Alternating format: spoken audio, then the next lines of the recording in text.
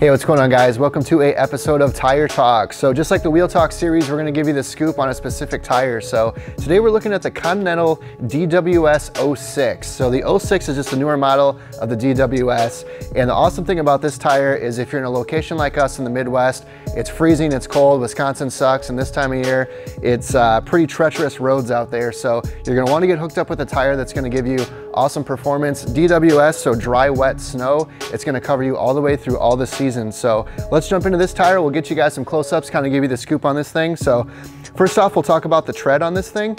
If you look, you'll see a lot of stuff going on on the tread here.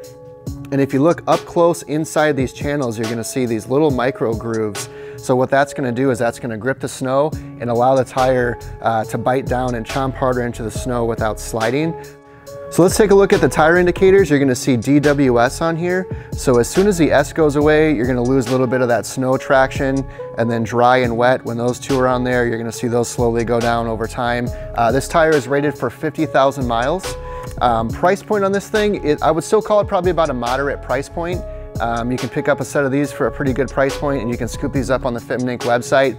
They do make a winter contact tire if you're looking for something a little more aggressive, but for the person that has a uh, sports car and you wanna toss this on and not have to worry about changing out tires, and especially for people too who aren't actually doing a uh, summer performance setup with a higher end wheel and swapping back to stock tires. This is a very uh, highly recommended tire. It's one of those ones that if you guys do research, whether you're looking on YouTube, Amazon, Google reviews, all that stuff, you're gonna see this one um, typically in the top five or top 10 for an all season performance tire. So uh, cannot go wrong with this thing at all.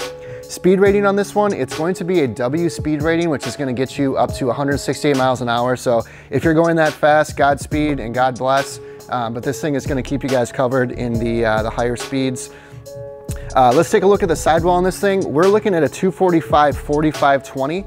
So just to kind of give you guys uh, a reference here, that's what we're working with today. This is a customer tire we're gonna mount and get balanced uh, shortly on an aftermarket wheel here. Now the DWS is gonna have a little bit softer sidewall. So if you see if I pull this out, it's pretty darn stretchy. So for those of you guys who are wondering how the tire stretches, uh, you know, there's a lot of photos and stuff out there, but of course it's a lot easier for you guys to take a look at a video, check out the uh, actual tread, see what you guys think of this. If you have any questions, drop it in the comment box below. This is the Continental DWS 06. We'll catch you guys next week. Peace.